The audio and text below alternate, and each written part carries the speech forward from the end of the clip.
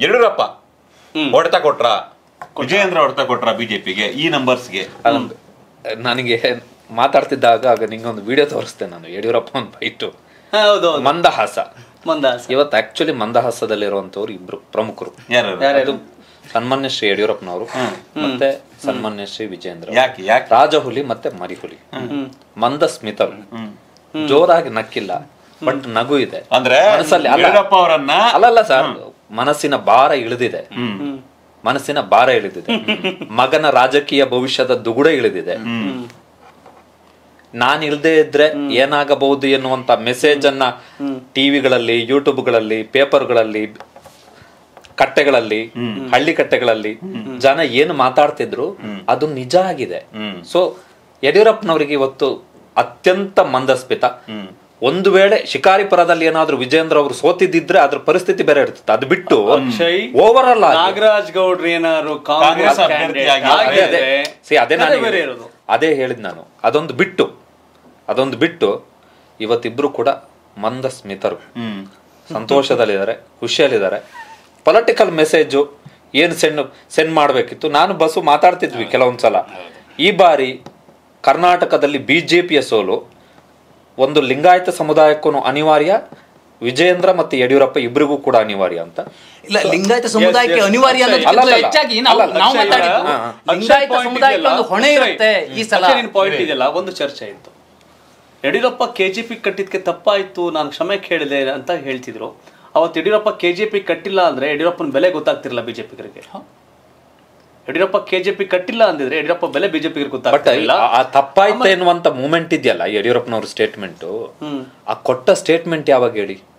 ಎರಡ್ ಸಾವಿರದ ಹದಿನ ಹದಿನಾಲ್ಕಕ್ಕೆ when Modi wave is peak Yediyurappa ಅವರನ್ನ ಮೀರಿ ಕರ್ನಾಟಕದಲ್ಲಿ ಬಿಜೆಪಿಯನ್ನ ಗೆಲ್ಲಿಸಿಕೊಂಡು ಬರೋ ತಾಕತ್ತು ನರೇಂದ್ರ ಮೋದಿ ಅವರಿಗೆ ಇದೆ ಎನ್ನುವಂತ ಸಂದರ್ಭದಲ್ಲಿ. ಅವಾಗ. ಇವತ್ತು ಇವತ್ತೇನಾದ್ರು ಬಿಜೆಪಿ ಗೆದ್ದಿದ್ದಾರೆ ಯಡಿಯೂರಪ್ಪ ಇಲ್ದೆ ಗೆದ್ದವಲ್ಲ? ಹೌದು. ವಿಜಯೇಂದ್ರ ಇದ್ರೆ ಗೆಲ್ದವ ಗೆದ್ದವಲ್ಲ ಅವರು ಬೇಕಿದ್ದಿದ್ದು ಕೂಡ ಅದೇ ಮುಂದಿನ ಚುನಾವಣೆಗೆ ಅಗೇನ್ ಮತ್ತೆ ಹದಿಮೂರಲ್ಲಿ ಹೆಂಗ್ ನೆಗ್ಲೆಕ್ಟ್ ಆಗಿ ಹದಿನೆಂಟರಲ್ಲಿ ಮತ್ತೆ ಹತ್ರ ಬಂದು ಚುನಾವಣೆ ಆಯ್ತು? ಎರಡ್ ಸಾವಿರದ ಇಪ್ಪತ್ತ್ ಮೂರ ಏನು ಮುಂದಿನ ಸಾರಿ ಇಪ್ಪತ್ತೆಂಟು- ಇಪ್ಪತ್ತೆಂಟರ ಚುನಾವಣೆಗೆ ಇಪ್ಪತ್ತೆಂಟರ ಚುನಾವಣೆಗೆ ರೇ ಅನಿವಾರ್ಯ ಶಿವು ರೇ ಮುಗ್ದಿದೆ. ಸರ್ ನಾನ್ ಈ ವಿಚಾರದಲ್ಲಿ ಹಾ. ಲಿಂಗಾಯತ ಸಮುದಾಯ ಮಹತ್ವದ ಹೊಣೆಯನ್ನ ಹೊತ್ತಿತ್ತು ಈ ಚುನಾವಣೆಯಲ್ಲಿ ಮತದಾನ ಹಾಕುವಂತಹ ಸಂದರ್ಭದಲ್ಲಿ.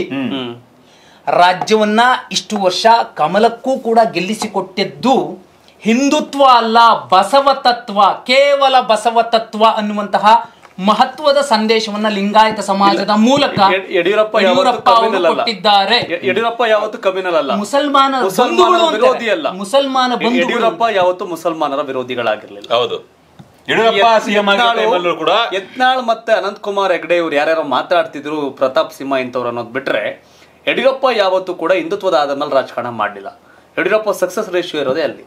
ಇಲ್ಲ ಯಾಕೆ ಯಡಿಯೂರಪ್ಪ ಅವರು ಹೊಡೆತ ಕೊಟ್ಟರು ಖಂಡಿತ ಇದು ಹೊಡೆತ. ಆದ್ರೆ ಬಸವ ತತ್ವ ಅನ್ನುವಂತಹ ಬ್ರಹ್ಮಾಸ್ತ್ರದ ಶಕ್ತಿ ಎಂತದ್ದು ಅನ್ನೋದನ್ನ ನೇರವಾಗಿ ವಾಲಿಯನ್ನ ಹೇಗ್ ಕೊಂದ ರಾಮ ಆ ರೀತಿ ಕೊಂದಿರಬಹುದು. ಯಾಕಂದ್ರೆ ಅವರಿಗೆ ಅರ್ಥ ಆಗೋ ರೀತಿಯಲ್ಲಿ ಆ ಗ್ರಂಥ ಆ ಪುರಾಣ ಕಥೆಗಳನ್ನ ಹೇಳಿ ಪಾತ್ರಗಳನ್ನ ಹೇಳೋದು ಒಳ್ಳೇದು ಅಂತ ಅನ್ನಿಸ್ತು. ಆದ್ರೆ ಕ್ಲಿಯರ್ ಆಗಿ. ರಾಜ್ಯ ಬಿಜೆಪಿಗೆ ಯಡಿಯೂರಪ್ಪ ನಂತರ ವಿಜಯೇಂದ್ರ ಮತ್ತೆ ಲಿಂಗಾಯತ್ ಸಮುದಾಯ ಅನಿವಾರ್ಯ. ಬೇಕೇ ಬೇಕಾಗತ್ತೆ. ನಮ್ಮನ್ನ ಬಿಟ್ಟು ರಾಜಕಾರಣ ಮಾಡಕ್ಕಾಗಲ್ಲ ನೀವು. ಒಂದು ಕ್ಯಾಸ್ಟ್ ಈಕ್ವೇಶನ್ ಸಂಬಂಧಪಟ್ಟಂಗೆ ಮತ್ತೆ ಯಾವುದು ಅಂತ. ಯಡಿಯೂರಪ್ಪ ಇವತ್ತೇನಾರು ಸಾವತ್ತು ಅವತ್ತು ಸುಮ್ಮನೆ ಬಂದ್ಬಿಟ್ಟು ಬಿಜೆಪಿ ಅಲ್ಲೆಲ್ಲಿ ತೇಲ್ಕಂಡ್ ಬಂದ್ ಕಟ್ಟಿಲ್ಲ. ಬಿಜೆಪಿ ಕಟ್ಬಿಟ್ಟು ಅಲೆ ಸೃಷ್ಟಿ ಮಾಡಿದ್ರು. ಬಿಜೆಪಿ ಅಲೆಯಲ್ಲಿ ರಾಜಕಾರಣ ಮಾಡಿದಲ್ಲ ಯಡಿಯೂರಪ್ಪ ಅಲೆ ಸೃಷ್ಟಿ ಮಾಡಿ ರಾಜಕಾರಣ ಮಾಡಿದ್ರು ಆ ಕಾರ್ಯಕಾರಿಣಿಲೆ ಅವ್ರು ಹೇಳ್ತಾರೆ ಮೋದಿ ಅಲೆ ಅವನ್ನೆಲ್ಲ ನೆಂಚ್ಕೊಳ್ಳೋದು ಬೇಡ. ಸ್ಥಳೀಯ ನಾಯಕತ್ವ ಮತ್ತು ನಮ್ಮ ಅಭಿವೃದ್ಧಿ ಕೆಲಸಗಳನ್ನು ಹೇಳ್ಕೊಂಡು ನಾವು ಹೋಗ್ಬೇಕು. ಯಾಕಂದ್ರೆ ವಿಪಕ್ಷದಲ್ಲಿರೋರು ಕಮ್ಮಿ ಇಲ್ಲ. ಸಿದ್ದರಾಮಯ್ಯ ಡಿ ಕೆ ಶಿವಕುಮಾರ್ ಕಮ್ಮಿ ಇಲ್ಲ ಅನ್ನೋ ಒಂದು ಸಂದೇಶ ಕೊಟ್ಟಿದ್ರು ಕಾರ್ಯಕಾರಿಣಿಲೆ ಕೊಟ್ಟಿದ್ರು. ಅದಕ್ಕೆ ದೊಡ್ಡ ಚರ್ಚೆ ಆಯಿತು. ಮೋದಿ ಅಲೆ ಇಲ್ವಾ? ಯಪ್ಪ ಯಮ್ಮ ಅನ್ನೋ ರೀತಿಲಿ. ಅವತ್ತೇ ಕರೆಕ್ಟ್ ವಿಷಯವು ಇದೇ ಪ್ರಧಾನಿ ಮೋದಿ ಅವರು ಒಬ್ಬರೇ ನಿಂತ್ಕೊಳ್ಳೋದ್ರ ಬದಲು. ಪಕ್ಕದಲ್ಲಿ ಯಡಿಯೂರಪ್ಪ ಅವರನ್ನು ನಿಲ್ಸ್ಕೊಂಡು ರ್ಯಾಲಿಗಳನ್ನು ಮಾಡಿದಿದ್ರೆ ಯಾವ ಸಂದೇಶ ಕೊಡಬಹುದಿತ್ತು? ಕೆಲವೊಂದು ಧೋರಣೆಗಳು ಬಿಜೆಪಿಗೆ ಮುಳುವಾಯಿತು ಅಂತ ಹೇಳ್ಬೋದು. ಧೋರಣೆಗಳೇನು? ಇನ್ನೊಂದು- ಇನ್ನೊಂದು- ಸುದೀಪ್ ಪಕ್ಕದಲ್ಲಿ ಬಿ. ಶ್ರೀರಾಮುಲು. ಅವರನ್ನು ನಿಲ್ಸ್ಕೊಂಡು ಎಲ್ಲ ಕಡೆ ಪ್ರಚಾರ ಮಾಡಿಸಿದ್ರೆ ಹೇಗಿರ್ತಿತ್ತು? ಕಳೆದ ಬಾರಿ Yediyurappa CM Ramulu D CM ಅನ್ಕೊಂಡು ರಾಜ್ಯವ್ಯಾಪಿ ಓಡಾಡಿದ ಪರಿಣಾಮ ವಾಲ್ಮೀಕಿ ಸಮುದಾಯ ಮತ್ತೆ ಲಿಂಗಾಯತ ಸಮುದಾಯ ಇತರ ಸಮುದಾಯ ಕೈ ಹಿಡಿತು ಅಷ್ಟು ಸೀಟ್ ಬಂತು. ಡಿ ಸಿ ಎಂ ಆಗ್ತಾ ರಾಮುಲು ಅಂತಿತ್ತು. ರಾಮುಲು ಮೂಲಕ್ಕೆ ತಳ್ಳೋದು ರಾಮುಲು ಇವತ್ತು ಸೋತವರೆ ಕತೆ. ಇತ್ಲ ಕಡೆ ಯಡಿಯೂರಪ್ಪ ಸಿ ಎಂ ಆಗ್ತಾರೆ ಅಂತ ಅವತ್ತು ಓಟ್ ಹಾಕಿದ್ರು. ಇವತ್ತು ಯಾರು ಸಿ ಎಂ ಅಂತ ಗೊತ್ತಿಲ್ಲ. ಜೋಶಿ ಸಿ ಎಂ ಆಗ್ಬೋದು ಲೈಕ್ ಕೇಳಿಲ್ಲ ಬೇರೆ ಯಾರು ಯಾರು ಒಂದು ಒಂದು ನಂಬರ್ ಪ್ರಶ್ನೆಗಳು. ಒಂದು ನಂಬರ್ ಇದೆ. ಎಸ್ ಟಿ ಸಮಾಜದ ನಾಯಕ ಸಮಾಜದ ಹದಿನೆಂಟು ಶಾಸಕರು ಗೆದ್ದಿದ್ದಾರೆ. ಹದಿನೈದು ಜನ ಕಾಂಗ್ರೆಸ್ ಇಂದ ಗೆದ್ದಿದ್ದಾರೆ ಅದರಲ್ಲಿ ಇನ್ನು ಇನ್ನು ಬಿಜೆಪಿಯಿಂದ ಇಬ್ಬರೇ ಗೆದ್ದಿರೋದು. ಆದ್ರೆ ಬಿಜೆಪಿ ನಂಬರ್ ಒಂಬತ್ತಿತ್ತು. ಕಳೆದ ಕಳೆದ ಚುನಾವಣೆ. ಬಾರಿ. ಒಂಬತ್ತು ಪ್ಲಸ್ ಒಂಬತ್ತಿತ್ತು. ಮತ್ತೆ ಜೆ ಡಿ ಎಸ್ ಇಂದ ಒಬ್ರು ಆದ್ರೆ ಮೂವರು Balachandra Jarkiholi Ramesh Jarkiholi K N Rajanna. General ಸೀಟಲ್ಲಿ ನಿಂತು ಗೆದ್ದಿದ್ದಾರೆ. ಆ ಸಮುದಾಯಕ್ಕೆ ಅಂಥದ್ದೊಂದು ತಾಕತ್ತಿದೆ. ಅಲ್ಲಿ ಬೆಳೆಸಿದ್ರೆ ಸರಿಯಾಗಿ ಬೆಳೆಸಿದ್ರೆ. ನಿಜವಾಗ್ಲೂ ಬಿಜೆಪಿ ಬಿ ಶ್ರೀರಾಮುಲು ಅವರ ಕುತ್ತಿಗೆಯನ್ನ ಕೊಯ್ದು ಬಿಟ್ಟಿದೆ. ರಾಜಕೀಯ ಭವಿಷ್ಯವನ್ನ ನಿರ್ನಾಮ ಮಾಡಿದೆ. ಯಾಕೆ ಯಾಕೆ ಗೊತ್ತಾ ಆಮೇಲೆ ಸೋತ ಲಕ್ಷ್ಮಣ್ ಸೌದಿನ ಡಿ ಸಿ ಮಾಡಿದ್ರು. ಗೋವಿಂದ ಕಾರಜೋಳ್ನ ಡಿ ಸಿ ಎಂ ಮಾಡಿದ್ರು. ಆರ್ ಅಶೋಕ್ ಅವ್ರನ್ನ ಡಿ ಸಿ ಎಂ ಮಾಡಿದ್ರು. ಮತ್ತೆ ನಮ್ಮ ಅಶೋಕ್ ಮಾಡಿದ್ರು.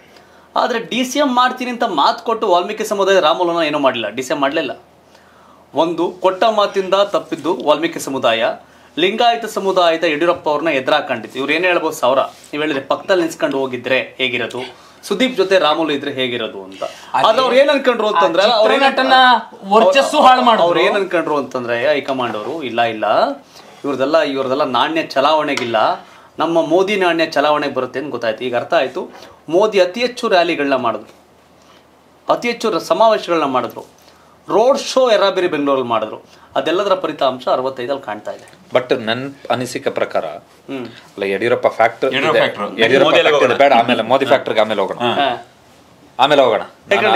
ನೆಕ್ಸ್ಟ್ ನೆಕ್ಸ್ಟ್ ಸಬ್ಜೆಕ್ಟ್ ಏನಿದೆ?